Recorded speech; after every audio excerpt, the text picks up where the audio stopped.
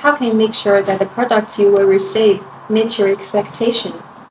It's actually much more convenient when we are in China, but sometimes the manufacturer is just too far from us. Even the one week train tickets is 500 RMB.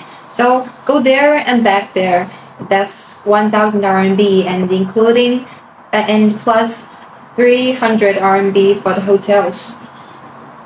I'm not even talking about transportation to the train station and back the train station. And we are only we only charge 199 RMB.